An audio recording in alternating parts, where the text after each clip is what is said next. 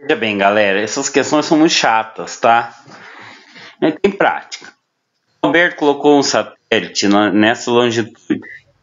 Deslocou esse satélite em sentido contrário meridiano de Greenwich. Tá? Veja, toda vez que você faz no sentido contrário meridiano de Greenwich, você tem que somar as longitudes. Sempre em geografia, porque o meridiano de Greenwich está aqui.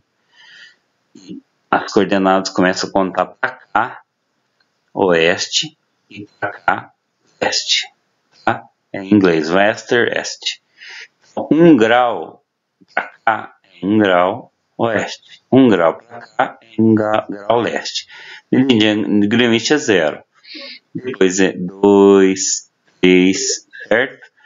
180 de um lado, 180 do outro. Encontrar lá na linha internacional da data Lá 180 é, é, é W de um lado e E do outro. Tá errado é E. W. W, 2W, 3W. Então, se eu faço meridiano Greenwich, eu tenho que somar. Então, eu vou somar 18, 29 e 52. Com isso, eu quero saber só a coordenada que eu vou ter estivesse aproximando do meridiano Greenwich, não fazer isso. Soma aqui 11 vai 1. 9 com 5, quanto que é? 14 vai 1, ficou torto, né? 7. Então descente, isso aqui descente. 21. Você sabe que não pode dar mais que 60 aqui. Quando isso acontece, eu subtrai 60 aqui, tomo um ali. Uma nova situação. Ali vai ter 11. Tem tanto ali com 11. Ali vai ter 75. E ali 21.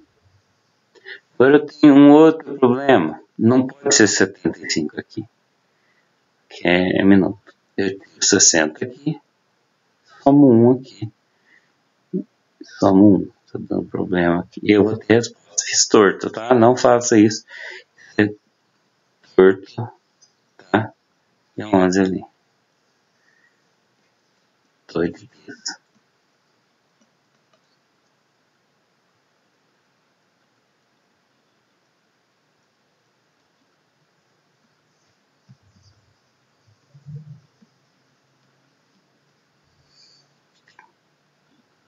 Então, a resposta é 22, 15 e 11. Tá